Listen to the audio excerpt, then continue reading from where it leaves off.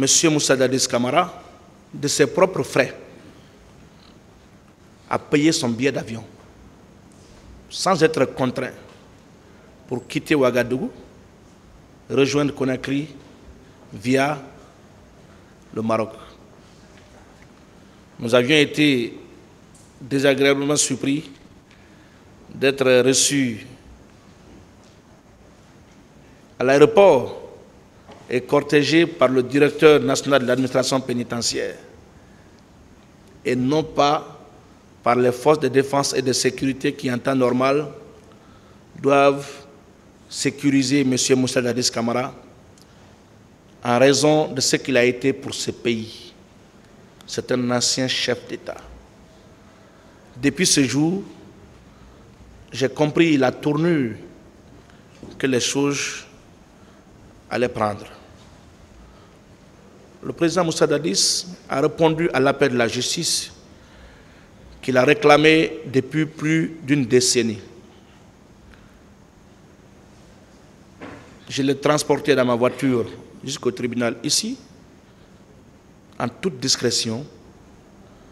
Nous avons été reçus par le procureur qui a par courrier numéro 1067, daté du 23 septembre 2022, ordonné l'arrestation et la détention du capitaine Moussa Dadis Kamara et cinq de ses co-accusés. Depuis, il vit dans cette détention arbitraire du fait du parquet jusqu'à nos jours. Monsieur le Président, Monsieur le assesseur, si nous étions devant la Cour pénale internationale, nous aurions opté pour le no case to answer.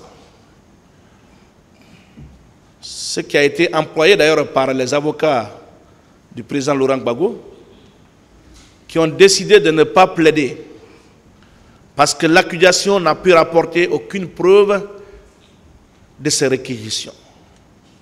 Mais puisque nous ne sommes pas devant la CPI, contrairement à ce que croit le ministère public, et même la partie civile, nous avions décidé quand même de prendre la parole pour anéantir l'accusation et édifier l'opinion sur les tenants et les aboutissants de cette procédure. Cette nébuleuse doit s'effacer. Le peuple a besoin davantage de comprendre que ce qu'a dit le ministère public et les partis civils à l'encontre du président Moussa Dadis Kamara vont s'écrouler comme un château de cartes. Parce que, contraire à la vérité, contraire au droit, contre la justice, Monsieur le Président, je vais, à partir de cet instant, aborder le premier point dans la discussion dans cette affaire lié à l'irrecevabilité de la constitution de partis civils de certaines personnes morales figurant dans cette procédure.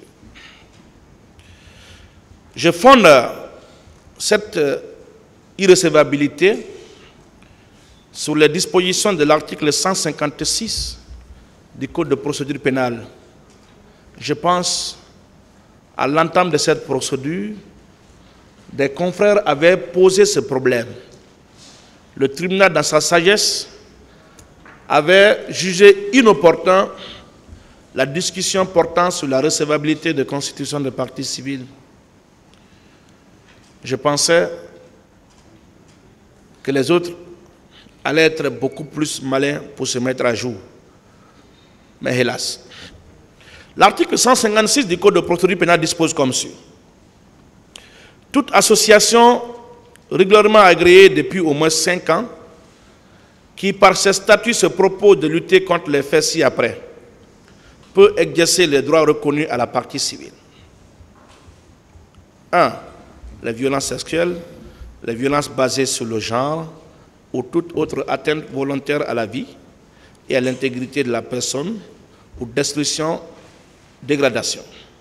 Le racisme ou la discrimination fondée sur l'origine nationale, ethnique, raciale ou religieuse. Toutes les formes de maltraitance de l'enfant. Les crimes de guerre, de génocide, d'agression ou les crimes contre l'humanité. La discrimination des personnes malades, handicapées ou vulnérables. La délinquance routière. Les atteintes faites aux animaux et à l'environnement. La toxicomanie ou le trafic des stupéfiants. Les atteintes aux droits des consommateurs. Les faits de détournement des données publiques. La corruption et infractions assimilées les atteintes aux droits des travailleurs et des personnes victimes d'accidents de travail qui sont réprimées par les dispositions pertinentes du Code pénal irrelatives peut porter plainte en lieu et place des victimes de ces faits. Toutefois, l'association n'est recevable dans sa plainte que si elle justifie avoir reçu l'accord de la victime ou si celle-ci est un mineur ou un interdit celui du tuteur ou de son curateur. La partie civile peut se consulter à tout moment depuis la saisine du tribunal. La constitution de partie peut se faire à tout moment depuis la saisine du tribunal.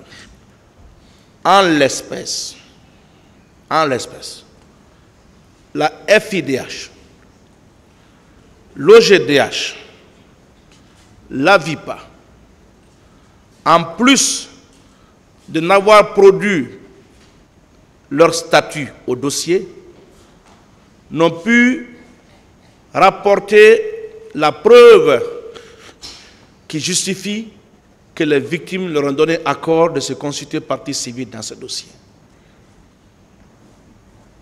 C'est pourquoi nous vous demandons, Monsieur le Président, de bien vouloir les déclarer irrecevables en leur constitution de partie civile. Le deuxième point de ma discussion portera sur la prescription des faits délictuels poursuivis. Tous les faits délictuels poursuivis. Et je fonde ce moyen sur les dispositions des articles 2 et 3 du Code de procédure pénale. Que dispose l'article 3 alinéa 1 et 3 du Code de procédure pénale. En matière de crime, l'action publique se prescrit par 10 ans à compter du jour où le crime a été commis. En matière de délit, l'action publique se prescrit au bout de 3 ans à compter du jour où le délit a été commis. Si les périodes indiquées aux alinéas précédents, il a été fait des actes d'instruction ou de poursuite cette action se prescrit qu'après 10 ans révolus en matière de crime, 3 ans en matière de délit ou 1 an en matière contraventionnelle à compter du dernier acte. À compter du dernier acte. Dans ce dossier, le dernier acte qui a été posé à l'instruction préparatoire date du 25 juin 2019. L'arrêt de la Cour suprême est intervenu L'arrêt numéro 6 est intervenu le 25 juin 2019.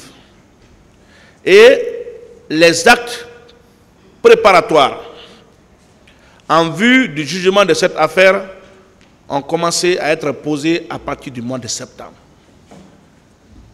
de 2019, 2020, 25 juin 2020, 25 juin 2021.